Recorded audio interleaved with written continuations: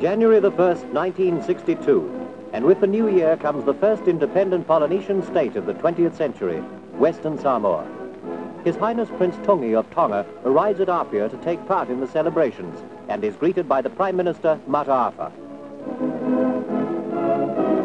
On the Malae Tiafau, the heads of state, their Highnesses Tupua Tamasese and Malietoa Tanumafili, walked to the official dais, where the oath of office is to be taken before the Chief Justice of Samoa, Mr. C. Marsack.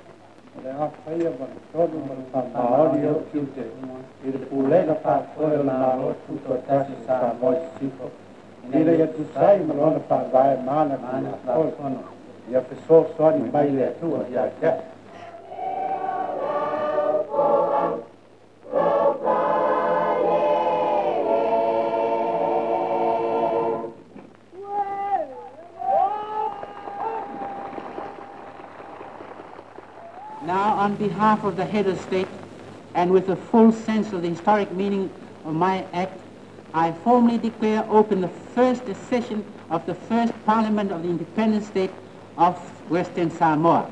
So it for.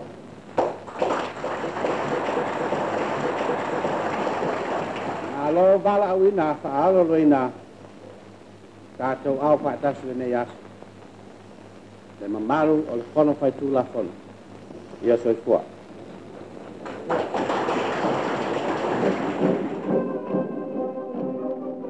After 62 years of German and New Zealand rule, Samoa finally regained its political freedom. Apia became a city of celebrations. From the Kingdom of Tonga comes a breathtaking gift of a thousand yards of tapa cloth, made specially for the occasion.